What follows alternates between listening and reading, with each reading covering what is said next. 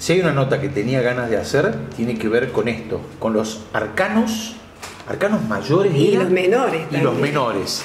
Y acá estoy con Grace Temperini, Ah, Grace Temperini muy bien, sí. y Qué, Tefi Chandoa, qué maravilla. para que me tiren las cartas.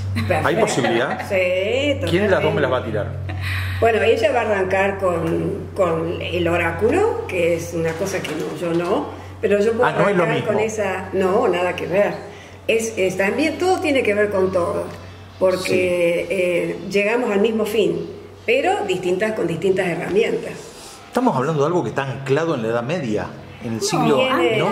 no, o sea, surge desde Ah, hace bien. bastante, eh, pero lo importante creo que acá de rescatar es eh, el carácter simbólico de todo esto, ¿no?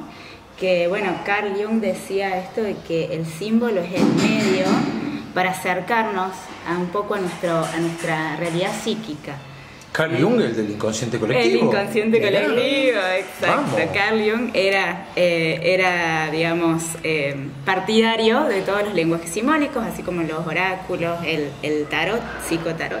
Por eso está el libro rojo de Jung y, y- y como un detalle, Jung utilizaba la astrología como método de diagnóstico de sus pacientes. Y eso Ajá. fue el principal problema que tuvo con Freud. Ujú. Porque Freud no lo aceptaba. No, para nada, porque él decía que ya con, el, con, con todo el, el psicoanálisis ya había hecho mucha revolución a nivel psicológico. Claro.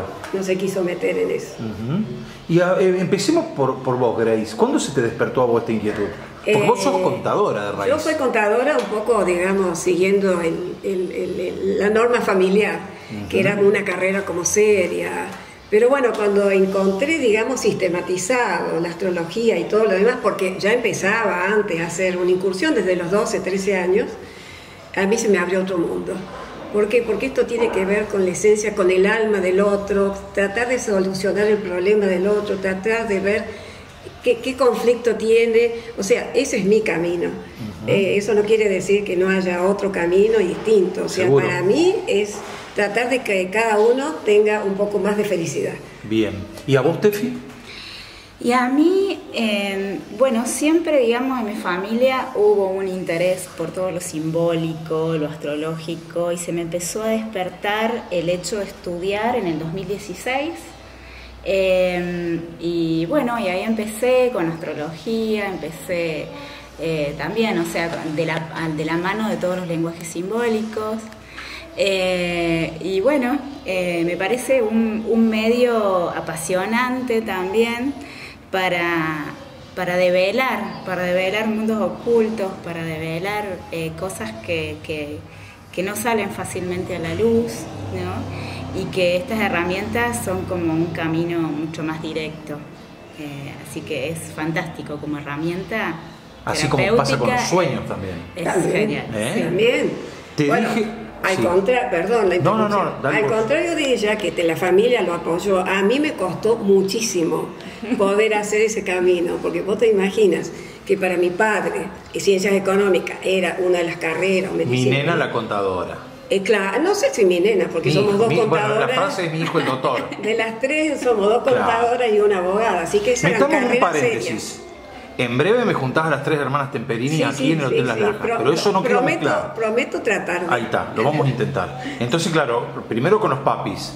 Y después que con, con tu marido, no. No, mi marido también es médico, así que él, él, eh, no es agnóstico, pero yo creo que es por poco hacerme la contra.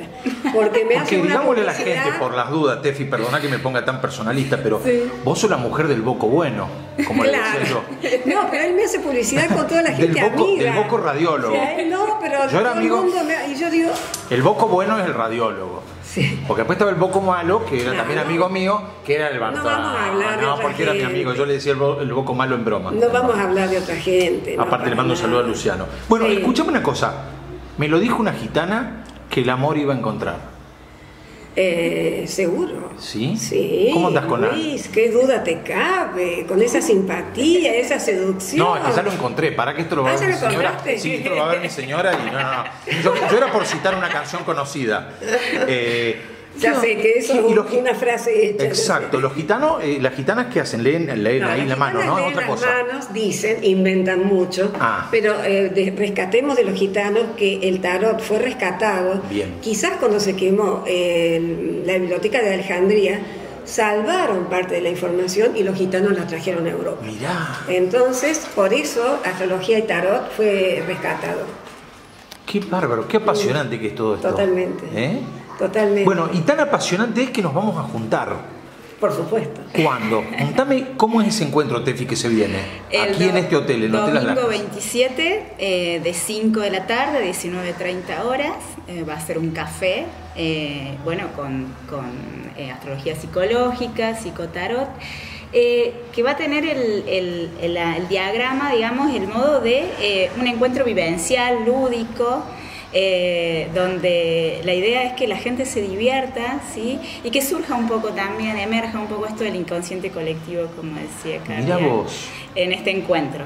Mirá. ¿sí? Así que, bueno, No le falto el respeto a nadie, sino que va a ser un auténtico aquelarre. Yo creo que sí, Sí. porque la intención es que el que venga se olvide del mundo externo y esto va a ser algo mágico, Qué algo bueno. divertido, con cuentitos, con entretenimientos, con historias, con que cada uno también va a interactuar con nosotras dos. Aparte en este hotel que es tan importante para vos. Sí, la verdad ¿eh? que sí. Te debe, te debe atravesar. No, no, es una emoción. Una emoción. Una que hoy en día está en manos de dos amigos. Totalmente. Como el Welly Barenberg.